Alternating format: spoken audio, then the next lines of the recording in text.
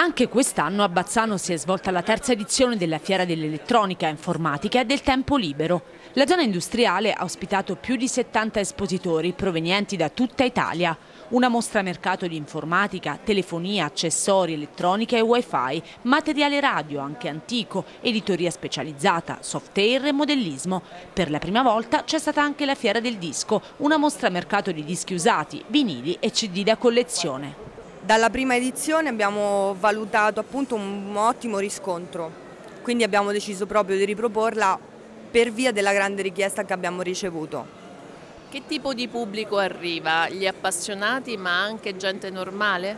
Di tutto, c'è di tutto, dal, dal signor anziano in pensione al ragazzino che magari vuole vedere eh, le cuffie da portare tutti i giorni a scuola, c'è di tutto, abbiamo qualsiasi tipo di clientela.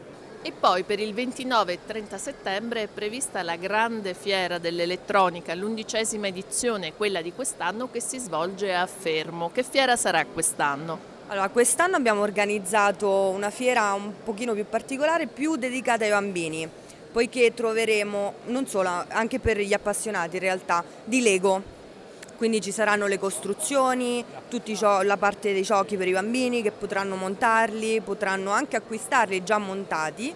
E oltre a quello come tutti gli anni organizziamo anche una mini parte del mercatino dell'usato